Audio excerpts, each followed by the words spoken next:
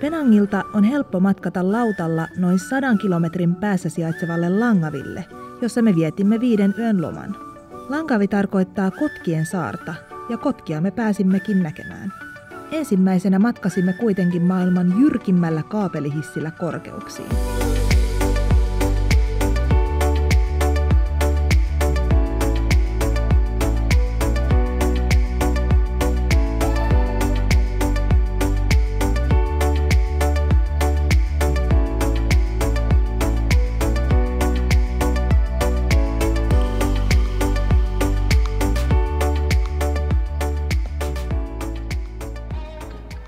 Langavi koostuu lähes sadasta saaresta, ja merimaisema pääsaaren ympärillä on aivan mieletöntä. Paras tapa kokea nämä maisemat on vuokrata vesiskootteri.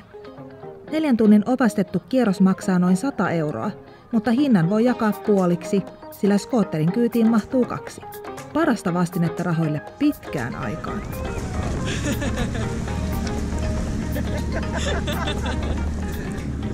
Miten menee? Hyvin. Aina kun ei pelkää. Mikä maisema. Ja helvetin hieno.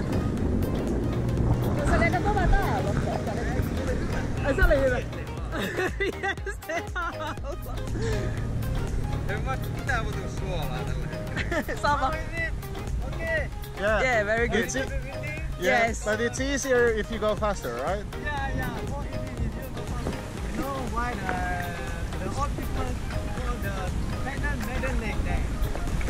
can see the top of the view Aha. like a woman lay down. Aa, jää, jää, jää. Toivottavasti täällä ei ole krokotiili. Tärkeintä oli, että ei ole haita. Aika hienot kalliot. Ei näin lähelle pääse ikinä. Näkee vaan kaukaa. On se vähän tullut vesi nyt alas, koska tuossa menee toi raja, missä on noita simppukoita. Yksi parhaista valueformaanihaista. Nämä muistot jää ikuisiksi.